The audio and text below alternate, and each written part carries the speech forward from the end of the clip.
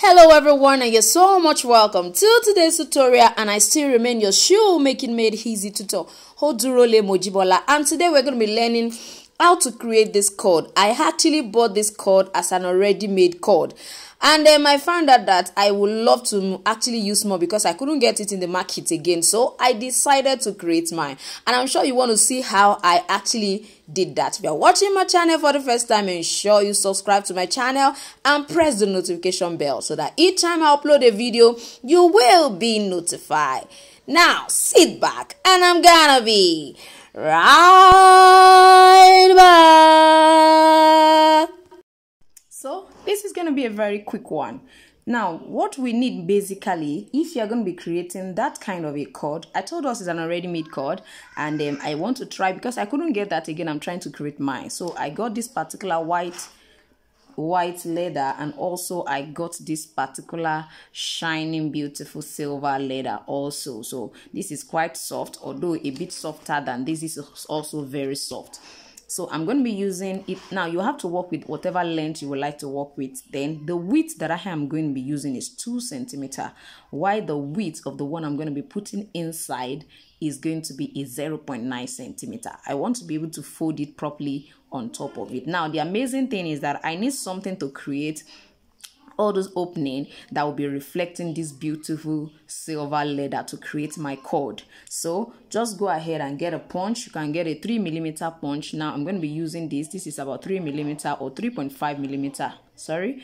Yes i got this from one of the so many you know cutter that i bought is actually a pack. So i had a lot of them right inside it. So this is one of them. Now if you don't have that you can actually buy this kind of a punch. It's actually a punch this is actually 2.5 this is 3 this is 3 wow. This is actually 3 so and you can start to use this you can buy 4 millimeter. You can buy 4 because this is quite wider this is wider than this.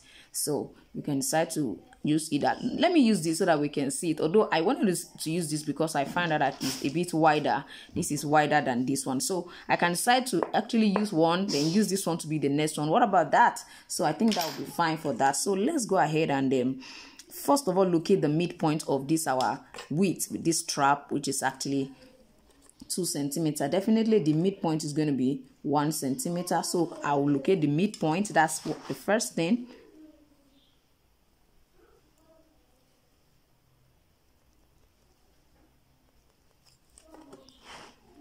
So I'm going to adjust this back so that it can perfectly fit what I want.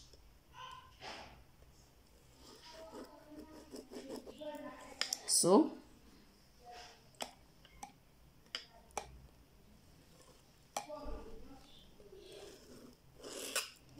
So with this midpoint, I will be able to consecutively punch on a straight line without having any form of error. So let's go ahead and use 1.5 as our interval. So from this side to this side, this is 1.5. We go to 3, 4.5, 6, 7.5. We have 9, 10.5. We have 12. We have 13.5. Then we have 15. So that is what we have there. So what am I doing now? I'm going to be starting with either of them, eat our punches. So I'm starting with this.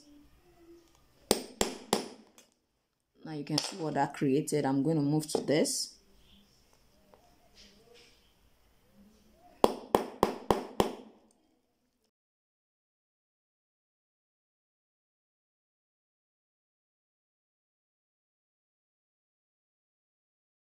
So with this, we have created different openings. Now, if you look at what I did, you'll find out that we are supposed to make sure that all of them centralize. You find out that some have extended to this side, some have extended to this side. So please, when you're punching yours, please make sure you pay attention to that. I actually did this to quickly show us what I did in the absence of what as in not finding the cord that I need. So I'm going to use my contact cement adhesive on it right away. I'm going to pick up my silver leather and place on it. Immediately. I don't want to apply contact cement adhesive on it. So immediately i apply it on this one. I'm going to position it right here.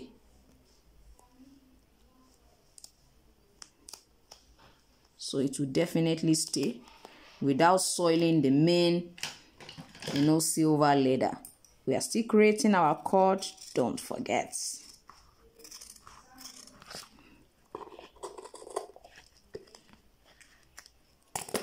can see what is already looking like here. At least you have something like what you want. So we are going to go ahead now. I've already applied the contact cement and there's a right also here. So let's just go ahead and um,